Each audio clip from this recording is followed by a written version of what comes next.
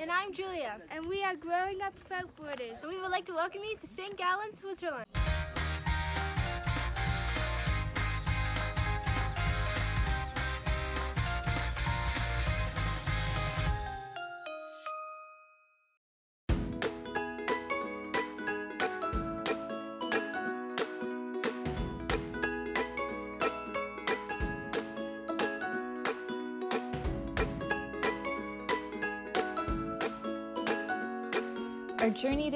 Gallen started with a beautiful drive along Lake Zurich. We had the most amazing views of all the mountains all along the way till we got to the bottom of Mount Säntis.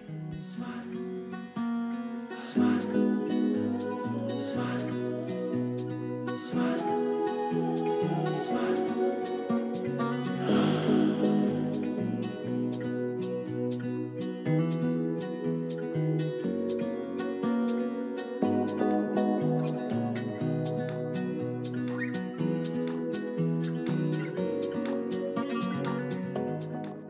about to go up Mount Säntis.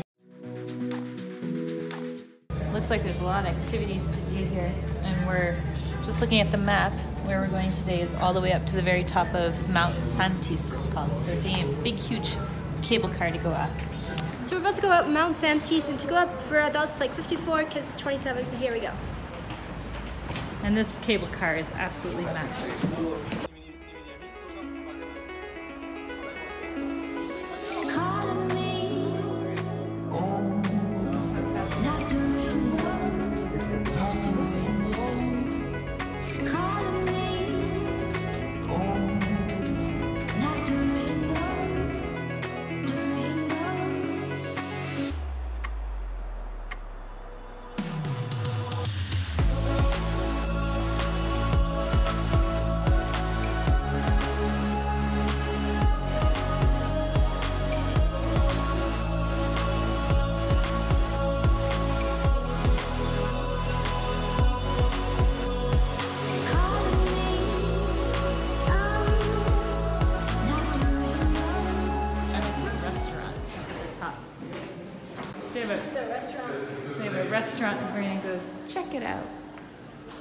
Oh, it's beautiful. Look at the style of it.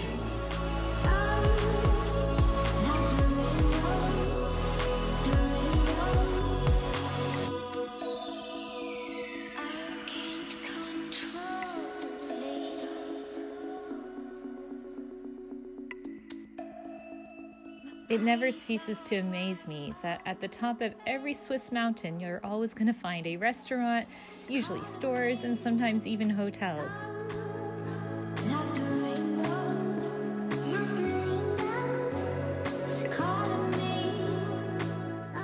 Way over there in a distance, if you look really closely, you'll see a whole bunch of people literally walking on what looks to be a really steep cliff.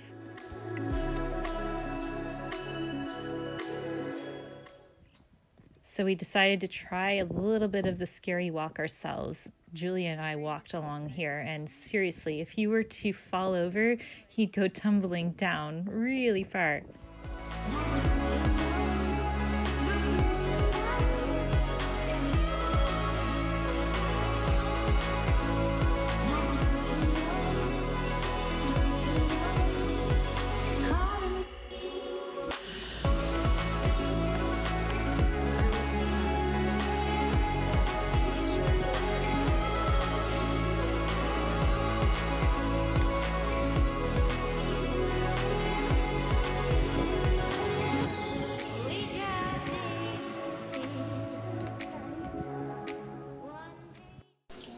At the top, they have literally a museum about all the different mountains and the peaks and the weather, and it's really cool.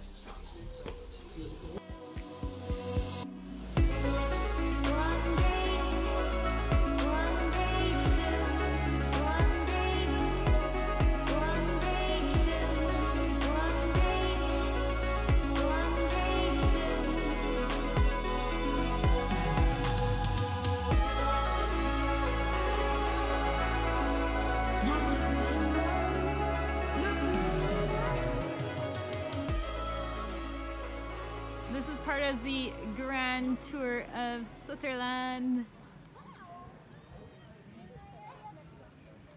Okay, so right now we are checking in to a place. Looks like an apartment, but it's on a website called B&B Switzerland. And basically, well, you guys have heard we have B&Bs before, um, but this one's like an apartment and um, they do include breakfasts at all of the B&Bs here. So we're in a little town near, I don't even know what town we're in. we just followed the GPS to get here, but basically near St. Gallen. So we had a really good night's sleep at our B&B. Not all B&Bs are the same, so where we stayed is more like an apartment style, and then they have others, if you go on their website, B&B Switzerland, they're more like chalet styles and basically in the mountains and all different kinds of areas. So we're right now in a town called Gudingen. Gudingen. It's right on Lake Constance and uh, really close to St. Gallen. So here we're on the Swiss side and over there in a distance you will see over there that is Germany and we are on the Swiss side. And this is their little port here where they have all sailboats and such. So moving right along, we're gonna go take you on a beautiful tour of the city of St. Gallen. We're gonna show you some of the highlights that there are there to see and do. So let's go.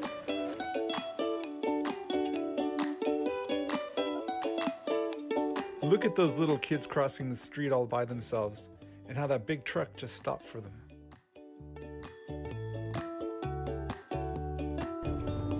Did you guys just see that? Those were little, I don't know, five, six year olds. There was no mom, no dad. They were crossing the road by themselves, and you see that all the time in Switzerland. You don't see that in any country, any country in the world. We've never ever seen that before.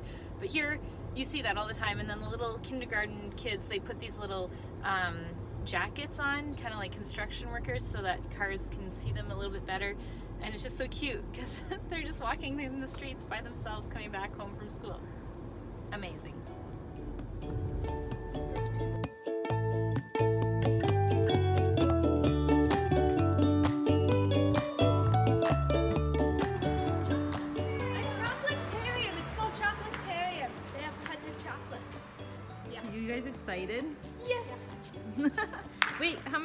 Chocolatariums or chocolate museums have you been to? Many, many, many, but you can never get tired of chocolate. Never, get tired of cho- Swiss chocolate. And I feel like this Swiss chocolate is one that we've kind of left out because we don't really get I've it. never been here before, and it's like the minor brand and a different brand, so we're gonna go find out and see what it tastes like. So just so you guys know, so this museum is a good 20 minute drive from St. Gallen. But worth it. Oh yeah, totally worth it, I'm sure. We don't even know yet, but We'll we're, see. we're sure. Look at all the cowbells. Let's go. Let's go. So pricing to go in is about 14 for an adult, 8 for kids, and then there is a family deal. So here we go. It's like Willy Wonka. It's a secret door, girl. The secret door opens to the secret chocolate area. Ooh.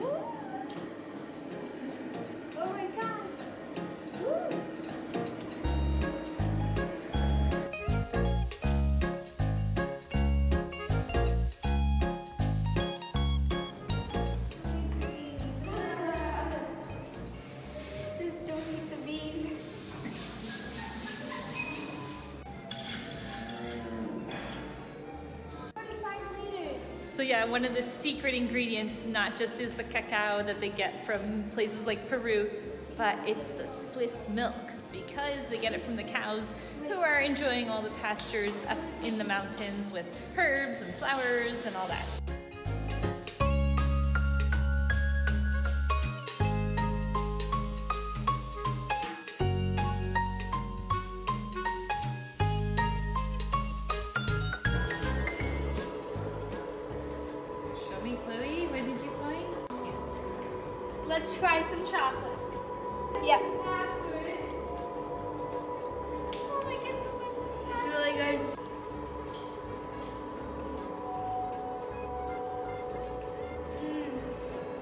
They're both really good.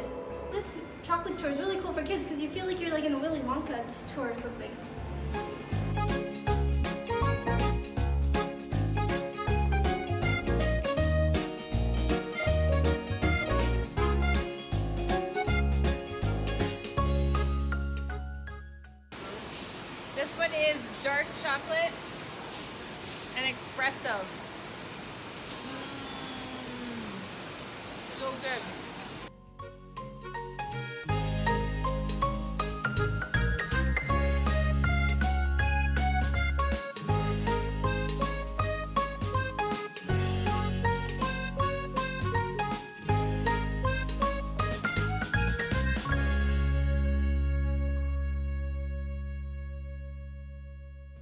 Could see all the countries and how many kilos of chocolate they eat per year.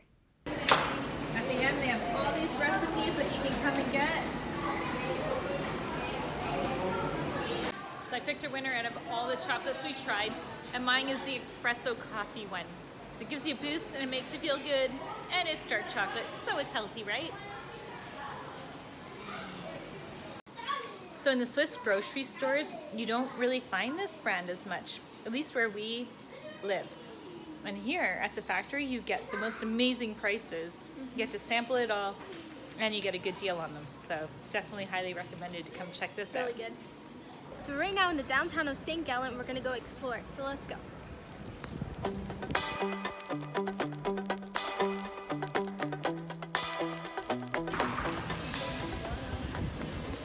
First stop, tourism office.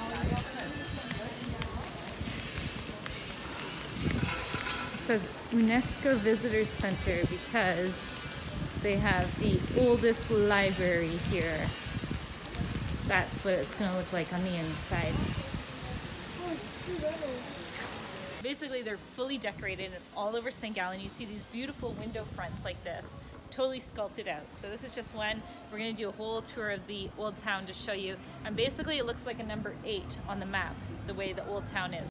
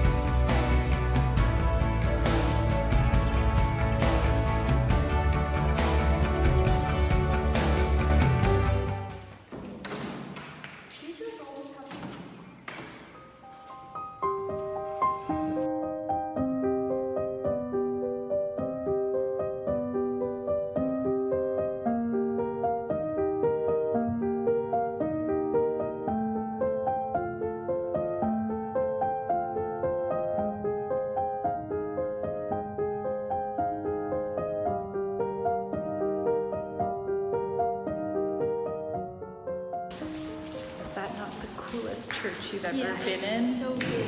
It's so beautiful. Everything about it is so pretty. I want to whisper because I'm sitting now. I'm used to whispering. Yeah. All right, next stop, the Abbey Library, where we're not allowed to film.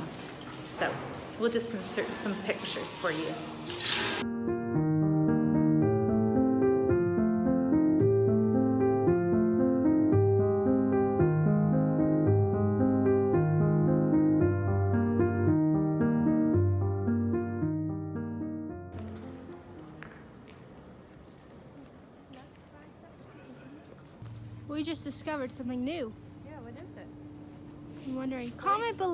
Know what this is.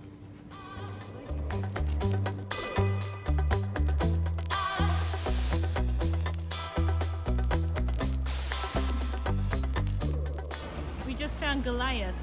You know, the girl said, how do we know? Because it says Goliath up there on the That's wall. not me. I should have guessed.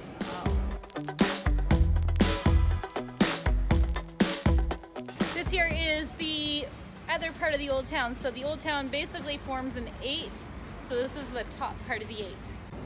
So in Europe they have something like pharmacies and then they have still something that's called a droguerie. And the difference is, is the pharmacy you buy your pharmacy medicine and the drogueries are more so for herbal things or natural type of remedies. So there is a difference between the two and they still have the two all over here in Switzerland. Everyone knows the Lion King. Well, here it's really hard to say, as you can see. Koning der Löwen. That's not hard. Der, der Koning der. I don't think they say Koning. Der Koning der Konig. Löwen. Konig. Konig. I think we need to learn some German.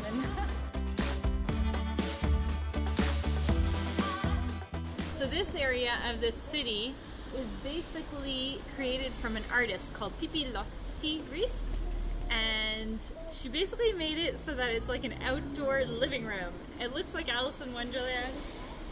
Pretty magical.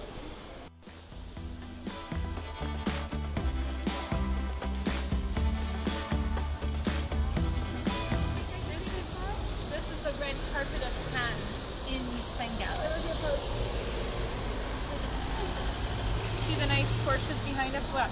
Wait, wait, wait, wait, wait. That is just perfect timing. See? See that nice Porsches behind us. And the scooters. And the rain red. So, after visiting so many chocolate factories, we thought it would be a good idea to stop the Swiss and ask them why they like their Swiss chocolate so much because they are the ones that consume the most chocolate in the world. Yeah, so, let's do it. let's go find some people. Filming. Um, so far, the few people that I've asked do not want to be on YouTube, and Let's so try more. I'm having a challenge finding someone. Let's go try some more. So I can ask you now why you like Swiss chocolate so much. Because it's Swiss chocolate. It's a must be if you if you're Swiss. If you're Swiss, you have Yeah, to like it. You have to like it.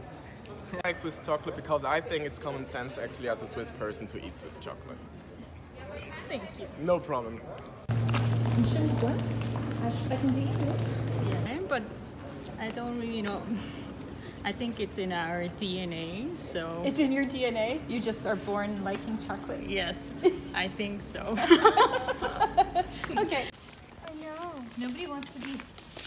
No, not many people want to be on video. I feel like we've asked, I don't know, like nine or ten, and they don't like to be on video. So, Out of 10, we got 3. sorry guys. I will try and find some more people because there's got to be a reason they like the Swiss chocolate. Why do you love Swiss chocolate? I like Swiss chocolate because it makes me feel good. These chocolates because are healthy. They're healthy. It's healthy for Yes. you. Very good. I like Swiss chocolate because it's, I think it's different, it's unique, and uh, the production is also different, and the flavor, mainly the flavor. That's why. yeah. So, why do you like Swiss chocolate so much? because it has good quality. everywhere in Switzerland is like this where you have city and then literally within seconds you've got nature and picnic areas and it's just beautiful. What a surprise this is. So it's essentially a lake above St. Gallen where you can come and swim and enjoy the water. It looks like here they play some water volleyball or water soccer, whatever you call that. How cool is that?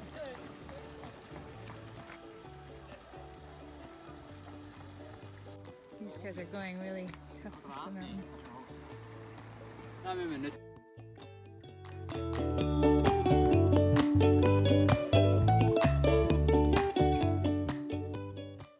Switzerland, do you see men walking up a hill like that? Like there's no tomorrow. He's going so fast. He's about 90 years old. Ah, diving boards, so you can dive in. That's so cool. Just above here, we're gonna have the most. Yeah, I can hear the cowbells, but I feel like we're gonna have the most magnificent view. Yeah, we are. Wow. I feel like I'm going up into space. Cool. We got nature in the city. Wow. Oh my gosh. The cows and the city.